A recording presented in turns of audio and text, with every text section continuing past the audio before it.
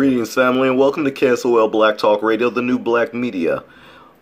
When They See Us has been Netflix's biggest show for two weeks straight.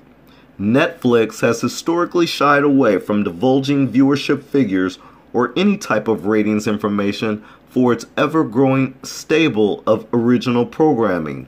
Recently, though, the streaming giant has become a little bit more open about which shows its millions of subscribers are watching. Just last month, for example, Netflix released its first ever top 10 list detailing the most watched shows in the UK.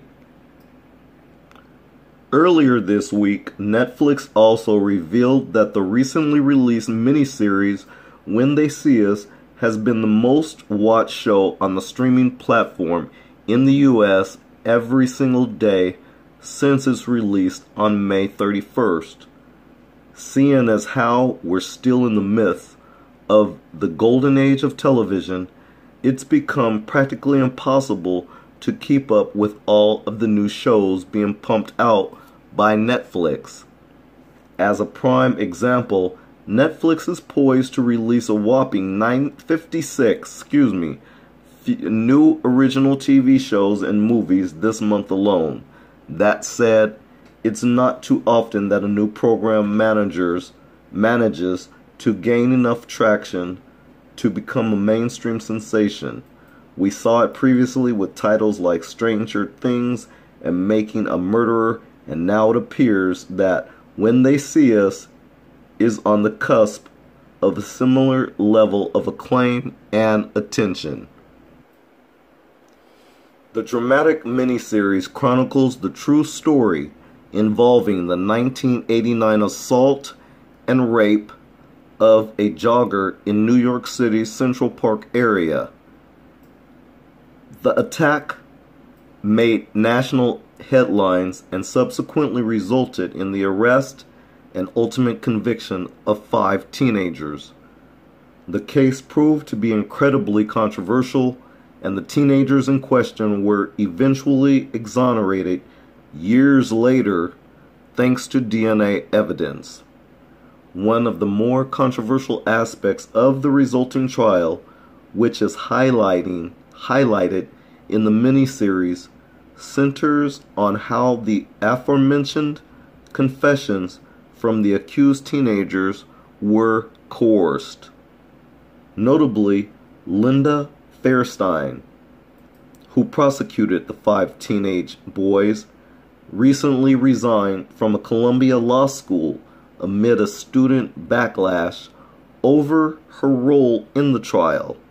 Meanwhile, Fairstein earlier this week penned an op ed for the Wall Street Journal alleging that the portrayal of events in the miniseries is misleading and defames me in the process.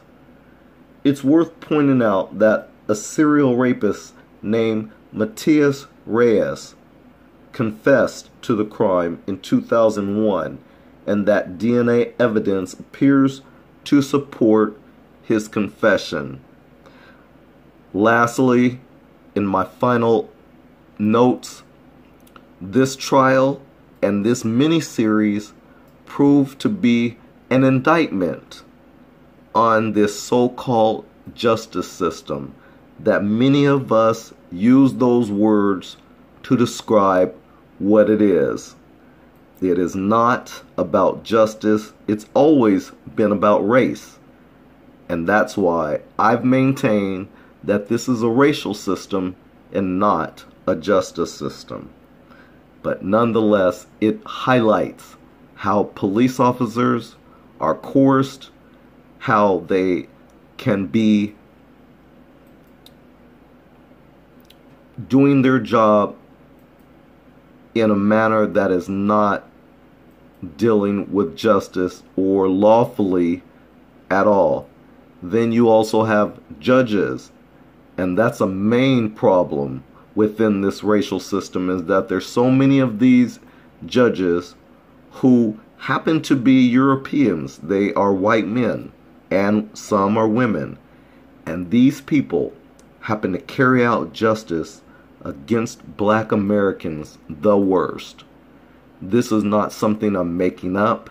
It's not something that I'm um, advocating for. It is something that is a fact based on research and studies all across this nation. Anyways, I'm not going to leave a link to this trailer here. Instead, I'd offer that you watch the miniseries by Ava DuVernay. This miniseries is a work of art when they see us. This is KSOL Black Talk Radio, the new black media. Thank you for watching. Peace out. You know, this lady has a lot of nerve going around on her little speaking tour. And I noticed that is with these conservative type of racist news stations that allows her a platform to spew more of her non truth. This lady is not being accountable, not holding herself accountable for her own actions. Instead, she blamed five innocent young men and had them behind bars for years. She is worse than shameful.